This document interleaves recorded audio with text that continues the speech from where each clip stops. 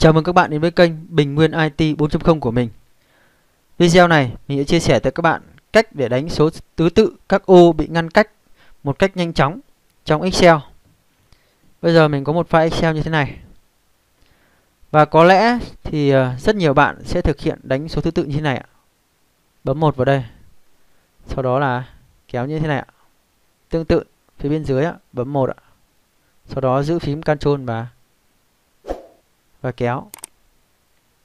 Tuy nhiên, thì ờ, mình sẽ chia sẻ tới các bạn một cách hiệu quả hơn và nhanh chóng hơn.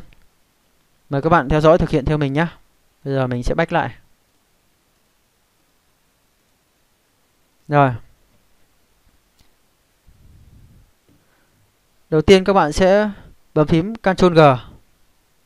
Sau đó chọn Special và tích mục Blank bấm OK. Sau đó giữ phím Ctrl và kích vào ô đầu tiên này. Rồi, bắt đầu gõ bằng N mở ngoặc tích chọn ô phía bên trên. Đóng ngoặc cộng 1, sau đó giữ phím Ctrl và bấm Enter. Rồi, các bạn quan sát thấy ạ. Số thứ tự đã được điền và cách cái ô có trường dữ liệu này ra. Đó.